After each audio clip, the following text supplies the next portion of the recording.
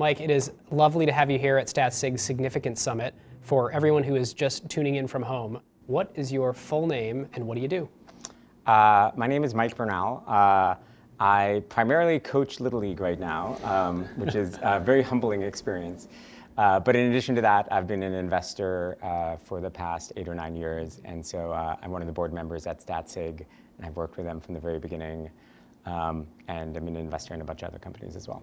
And you worked with Vijay at yeah, so I was Meta, at, then Facebook for a long time. Exactly. I was at Facebook for eight or nine years, and I worked with Vijay for most of that time. So So pretty, pretty exciting years. We're in the middle of our meta episode research. I know it's great. It's great. I, I'm very excited about. Uh, I was I was able to go to the uh, the event you guys had at the Chase Center, and it was it was epic. So Thanks for coming. It was very Yeah. fun. Thanks for coming. Mark has some very uh, Mark has some very loud shirts now. He does. Did you see the one he was wearing today? He has another. I haven't gotten a chance to understand the meaning behind it, but yet another large, I think Latin letter or Greek letter. Mike Amiri special. Yeah. Can I, can I digress for one second? Please. Please. One of my favorite, uh, one of the most hilarious arguments I recall, uh, there was a Zuck review uh, like a decade ago, and there was this guy I worked with named Doug, and uh, uh, someone, someone referenced a um, uh, sort of a, a Latin statement, and uh, uh, there was some, I think it was Cato maybe, or Pliny, there, there's some uh, pair of like the elder and the younger. Oh yeah, And- Pl- uh, older, I don't think yeah. it's Pliny. I, I- Yeah, I can't that's the beer. I think yeah, it's that's the beer. I think Yeah, it's. Cato. But um, uh, and this one person in the room started uh, like arguing it was the elder, and Mark was like, it was the younger. And this person argued with him for 10 minutes, and I was like, I feel like this is the one topic that probably Mark is going to be right on, and, and of course Mark was right on it. So um, do not argue with Mark about Roman orators. So, There was a um, was uh, Carthage must be destroyed was a saying for a uh, while within Carthago, Facebook. Uh, delenda est, I think. Yeah. Yes, yes. the, the posters were in Latin. So.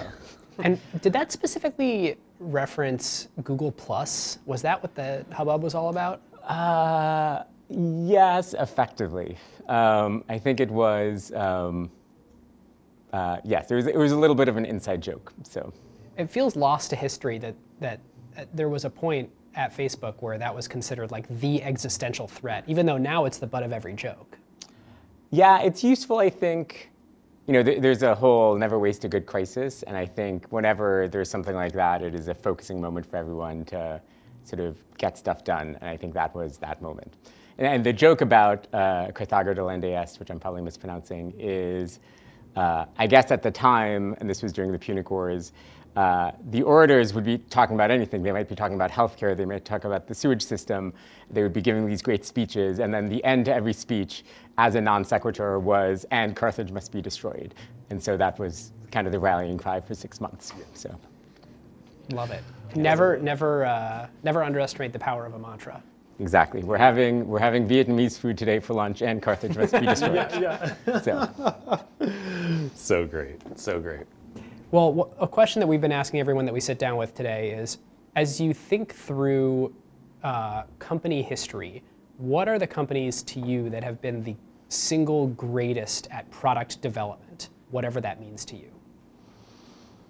You know, there are a couple of forms of this, and, and the, there's a bunch of probably obvious examples. I'll try to think of non-obvious ones. I obviously have a soft spot and a bias towards meta, and I think the defining characteristic of that, of the meta approach to product development, is just sort of informed velocity. Uh, is just moving as fast as you can, but doing it in a intentional direction and one where you are constantly compensating to sort of uh, get to the right end goal, uh, which is obviously a lot of the founding story of StatSig. Um, I mean, I think the obvious converse of that is Apple, which is just very much uh, kind of calling your shot, not uh, not to caricature them or, or anything, but it's kind of not caring about data, not caring about what people think, just having a, like a view about what something should be and then building it.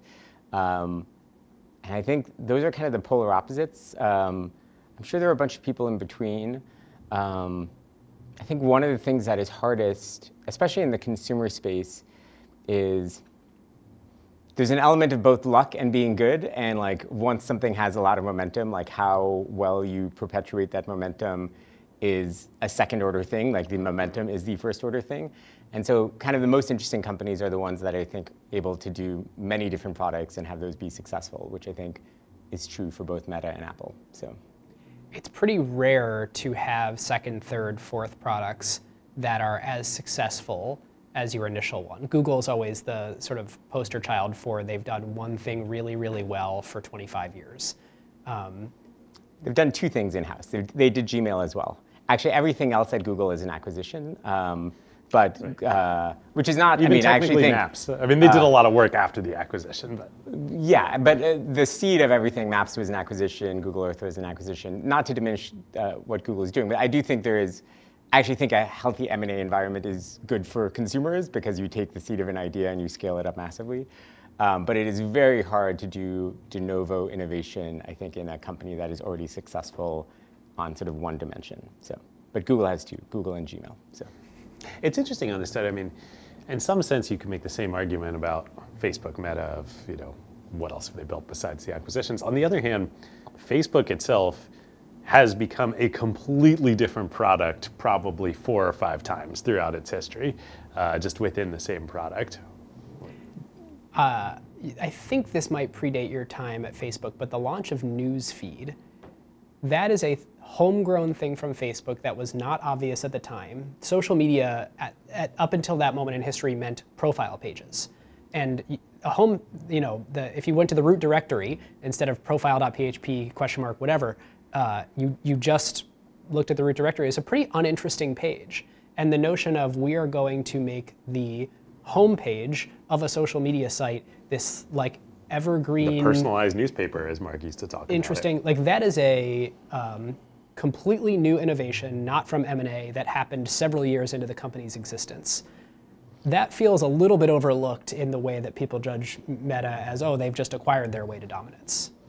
I, I, think that, I mean, I think that's true. I think it launched on September 7th, 2006, and I think the, so it was before my time, but I mean, I, I think one of the, like one of the beautiful things about these kinds of consumer products, especially high engagement consumer products, is there are there are just so many emergent behaviors, and if you just like pay attention to the emergent behaviors and then lean into them, it kind of just um, if you are humble enough to follow your users instead of sort of being prescriptive, like you will figure out what to build. And I think in that case, like looking at uh, the degree to which people on the site would sort of visit profiles to see if anything changed was kind of there was there was a huge novelty and an incredibly important change, but there's also a sort of obviousness in retrospect of like, well, obviously this is how it should work. Mm-hmm. I think there's a bunch of things that are parts of Facebook that were sort of following the emergent behavior of the system. So, in a world where a lot of this was uh,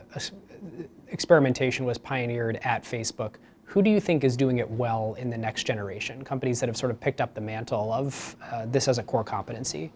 It's a good question. The besides Meta, who continues yes. to do it very Meta, well. yeah, I mean, there is a uh, there is a large Meta diaspora. I mean, there's a lot of Meta people at OpenAI right now, and I think OpenAI is a, a large StatSig customer that I think is um, being sort of very iterative and innovative. Uh, I mean, it's kind of clearly the right way to do product development, and so I think like most of the successful consumer product development um, folks will basically follow this path. Um, you talk at the end of your podcast about like the seven powers, and uh, I don't think I fully understand counterpositioning, but I suspect that there will be one company that counterpositions by saying we're not going to look at any data and we're just going to do what we want. But I think everyone else will probably follow this path at least for like the next epoch. So. Hmm. As you reflect back on your own career, are there certain inflection points where you look at and, and point to it and say, I completely changed my mind on something because of the way data showed up to me, either from customers or from the organization, and I now believe something entirely different going forward. Yeah. Um, so there's probably a couple. Uh, one, and this is going to sound a little bit funny, but I think, you know, I was a PM. I, I started my career as a PM at Microsoft, and the PM job is funny because it is the job that is most different between a tiny company and a large company. Like, kind of what an engineer does at a startup is pretty similar to what an engineer does at Facebook. PM is completely different. PM at a small company is much closer to actually, I think, the idealized version, what people think of as a PM in terms of probably owning a product and talking to customers and figuring out what you should build. I think in a large company, like the primary job of a PM is actually just, it's kind of the communication substrate of the organization. Um, and that's not bad or good, it's actually a necessary function. It's just wildly different than, than being at a startup. You know, I was a PM at Microsoft when it was quite large, and I think one of the things I was good at it was bringing a bunch of people together, uh, getting everyone on the same page, trying to like build consensus towards a thing, et cetera, et cetera. And I think for a lot of my career, I kind of um, I was able to navigate a bunch of loud voices and try to figure out sort of uh, as optimal a solution as I could within a whole bunch of constraints.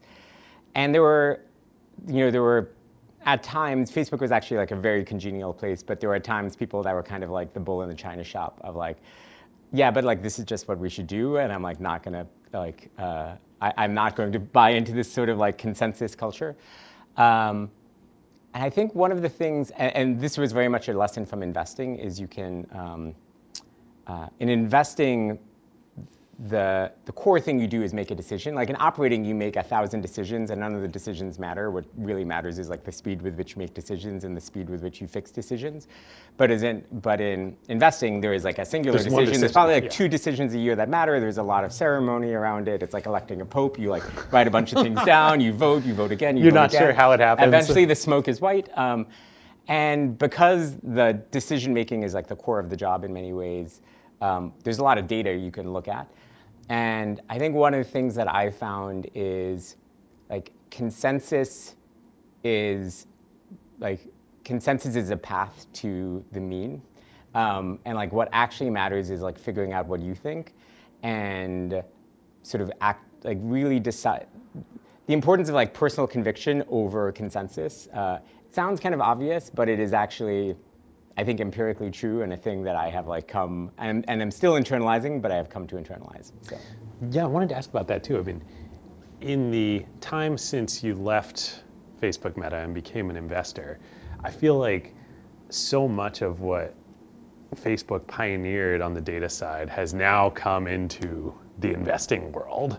Like, how you were joking about the white smoke and the Pope, and like, you know, we came from the investing world, and like, literally, that's what it used to feel like. Of well, you'd all sit around the table after a pitch from a Series A company, and like, it could go any number of directions depending on what side of the bed people got up on that day. Yep. Now there's so much more data. Has it changed the process? has it changed the process? Yeah. You know, I, I don't think it changes in the moment. Like, it, there's not a, especially for I think early stage companies, it's not like there's a scorecard you can go to and say, well, but like the scorecard here is pretty good. Um, I think where it is most useful is in uh, identifying and helping to quantify biases in terms of, well, this is like a common mistake that we make, or this is like a common pattern that is like a good pattern. The problem with all of these is uh, the n is very small, so getting to significance is hard. But you definitely start to feel, even at small n, you start to find counterintuitive patterns that at least if you're conscious of, you can try to compensate for. So, hmm. Well, thanks, Mike. We really appreciate the Thanks, time. Mike. yeah, thank you so